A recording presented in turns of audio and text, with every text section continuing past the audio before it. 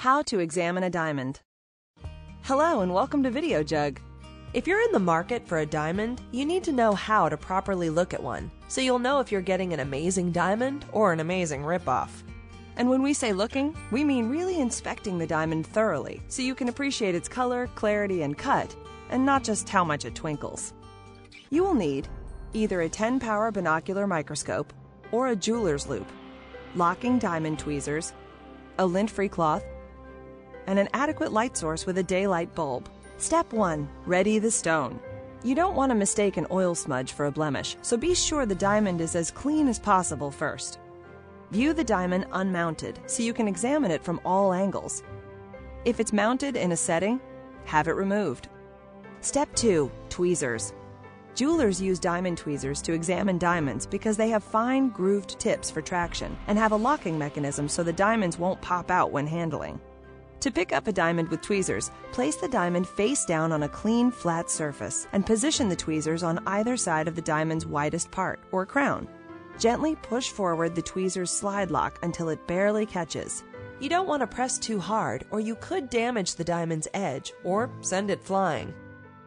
Step 3 Naked Eye Inspection. Before you use a microscope or jeweler's loupe to magnify the diamond, inspect it first by eye. Any major defects should be visible. If you do this after using magnification, you may only see what you remember from the magnified image. Also, move the diamond away from the jeweler's army of bright lights, which will pretty much make frozen spit sparkle. Walk the diamond over to a window to see how it sparkles there by comparison. Step 4 Magnification and Lighting. Diamonds are graded with a jeweler's loupe. This is basically a handheld magnifier that is fully corrected so that there is no distortion. Loupes, though, are very hard to master, and it's much easier for you to use a binocular microscope instead.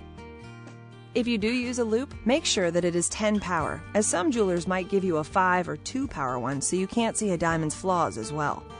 The first thing to know about using a jeweler's loupe is that you can look through it from either side. They're both the same. Bring the loupe right up to your eye in one hand and hold the diamond in the other, positioning the diamond about one inch away from the loupe until the entire interior of the diamond is in clear view. Keep your head up as if you were talking to someone so you will not block out the light from hitting the diamond. Ideally, you want the strongest light source to pass through the side of the diamond. When viewing the color of the diamond, use only daylight balanced light, as incandescent lights will give off a yellow color. Step 5 Examination. Some jewelry salesmen will insist that looking at the underside of a diamond is not relevant or factored into a diamond's grading. Nonsense! Any chips on the diamond's underbelly will prevent light from refracting properly and thereby cause a diamond to be less brilliant, or, to use an industry term, have less fire. When determining the body color of the diamond, place the diamond face down on a white background.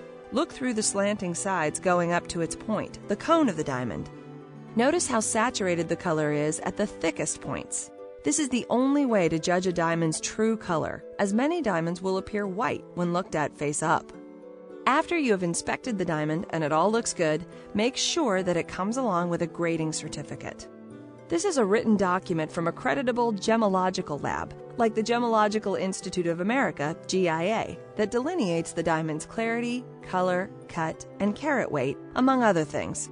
With this certificate in hand, you know exactly what you're buying. Now all that's left is haggling over the price, getting a detailed receipt, and figuring out how to pay for it. Oh, yes, you also have to propose.